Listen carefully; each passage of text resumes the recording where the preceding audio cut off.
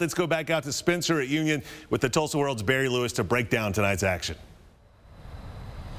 Yeah, that's right. As promised, we got Barry Lewis, the uh, high school sports editor over at Tulsa World, and so many great games going on tonight. Let's start, obviously, with the big one right here, the game of the week.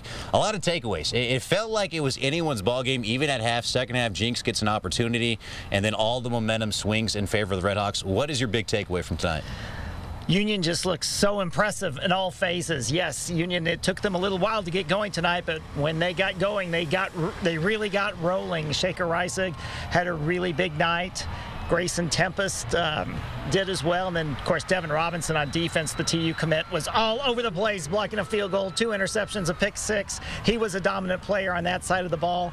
And, of course, DJ McKinney racked up his usual 200 total yards as a rusher receiver. So Union, it was, it was just a complete effort in all phases. Yeah, it's not often you see one player on defense dominate a game, but Robinson definitely did that tonight. Another team had a very big night would be Owasso. You look at a wild finish. We showed it to you a second ago. Owasso and Broken Arrow, huge win for them to get that done.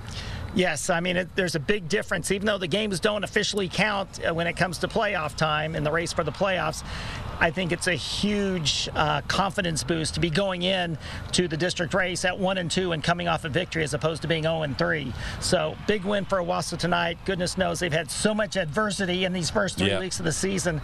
So what a win it was for the Rams. Yeah, they looked impressive and also a very impressive win tonight from Rejoice. They played Beggs and they put up a huge number against those guys. Well, Beggs put up a huge number against Rejoice last year, scoring in the 70s. So Rejoice returned the favor. Chance Wilson, he's just had an unbelievable start to the season. That's why he's number one in our all-world rankings. And uh, Rejoice looks like a state title contender. Yeah, they're definitely going to have an opportunity to make a run of that. Now, if you missed any of the games, be sure to check out Tulsa World tomorrow morning. They'll have a recap of all of the action, a lot of games. Barry, appreciate you as always for joining us. And let's send things back on over to the studio to you, Nathan.